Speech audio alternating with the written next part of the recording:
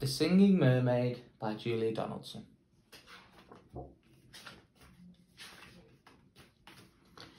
Do you ever go to Silver Sands on a sunny summer's day?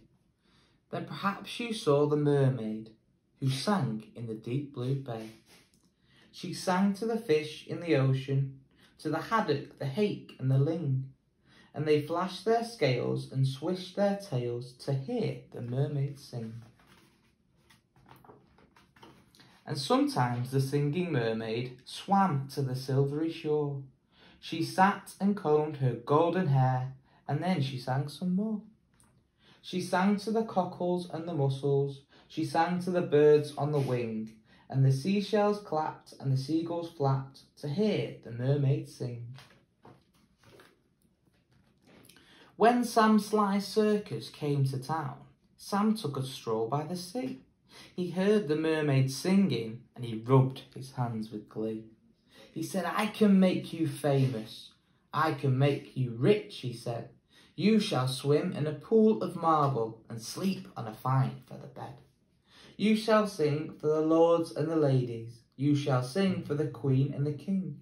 And young and old will pay good gold to hear the mermaid sing. Don't go, don't go, cried the seagulls and the seashells warned he lies. But the mermaid listened to old Sam Sly and smiled as she said her goodbyes. And she and he took her away to the circus, and she sang to the crowds around the ring. And more, more, more came the deafening roar when they heard the mermaid sing. Now the mermaid shared a caravan with Annie the acrobat and Ding and Dong the circus dogs, and Bella the circus cat.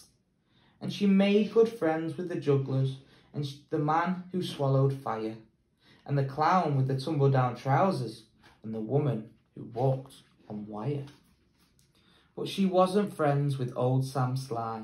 No, she didn't care for him, for he made her life in a fish tank where there wasn't much room to swim. And there was no pool of marble, there was no feather bed. And when she begged him, set me free, he laughed and he shook his head. All summer long the circus toured, all autumn, winter, spring. And many a crowd cheered long and loud to hear the mermaid sing. But the mermaid dreamed of silver sands, and she longed for the deep blue sea. And her songs grew sad, and again she said, I beg you, set me free. But again he laughed, and he shook his head, and he told her no such thing. Here you will stay while people pay to hear the mermaid sing.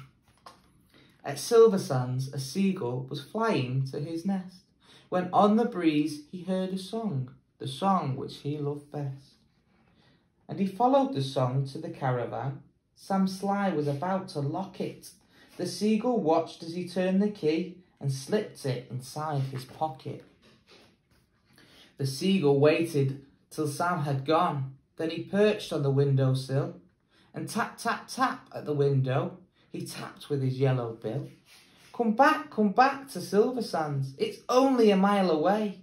I can find the key and set you free if you'll come back home to the bay. Escape, barked the dogs, escape, me, meowed the cat. But the mermaid sighed, I fail. For how could I walk to Silver Sands when I only have a tail? Like this, cried Annie the acrobat, and she stood upon her hands. This is the way, the only way, to get to Silver Sands. Right hand, left hand, tail up high. There's really nothing to it. If you give you some lessons every night, you'll soon learn how to do it. Next week, while Sam was snoring, the seagull stole the key. He carried it off to the caravan and set the mermaid free. And he flew ahead to guide her as she walks upon her hands, all along the moonlit road that led to Silver Sands. And the creatures on the seashore and the fish beneath the foam jumped and splashed and danced with joy to have their mermaid home. And she sang to the cockles and mussels, she sang to the birds on the wing, and the seashells clapped and the seagulls flapped to hear the mermaid sing. And if you go down to Silver Sands and swim in the Bay of Blue, perhaps you'll see the mermaid and perhaps she'll sing for you.